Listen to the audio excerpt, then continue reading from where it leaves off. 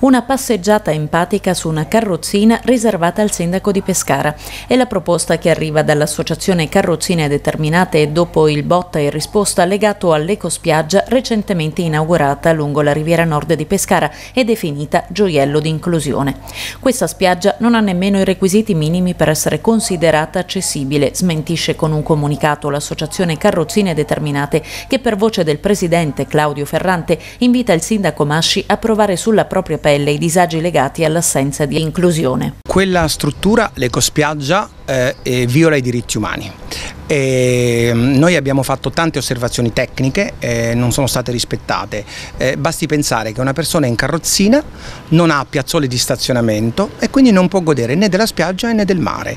Una spiaggia costata 170 mila euro con denaro pubblico e parte dei privati investito eh, al pubblico non può assolutamente negare e discriminare le persone con disabilità sono tante le questioni, non ci sono i parcheggi, sono bagni fuori norma, porte ehm, eh, installate al contrario, eh, poi ribadisco, non c'è copertura, abbiamo cercato di far capire che quella è una struttura carente.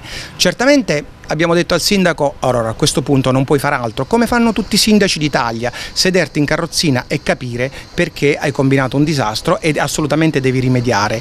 E quindi abbiamo proposto questa passeggiata empatica e speriamo che mm, eh, accetti questa nostra proposta, però vediamo poca umiltà. Una cosa è molto chiara, lui deve assolutamente rispettare i diritti umani e consentire a tutte le persone con disabilità di poter godere della spiaggia e del mare. Ricordo che a Pescara non c'è una sola spiaggia pubblica accessibile, quindi una persona in carrozzina che risiede a Pescara o, ehm, o è un turista non può godere del pubblico, a meno che non abbia la possibilità economica di pagare e andare presso uno stabilimento balneare privato. Il sindaco ha un obbligo, è un sindaco, deve ascoltare i cittadini, eh, viene pagato dai cittadini, gestisce il denaro dei cittadini e quindi è un obbligo rispettare le norme. Lì non sono state rispettate la Convenzione ONU nella 104 e quindi assolutamente quella struttura deve essere integrata e modificata immediatamente. La polemica nasce anche dal paragone con la spiaggia inclusiva di Montesilvano, mare senza barriere, divenuta in breve tempo modello di totale accessibilità. Ci arrivano chiamate da tutta Italia,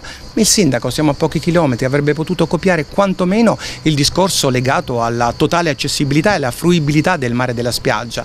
Non è stato fatto, anche qui mi spiace, poca umiltà e tanta presunzione.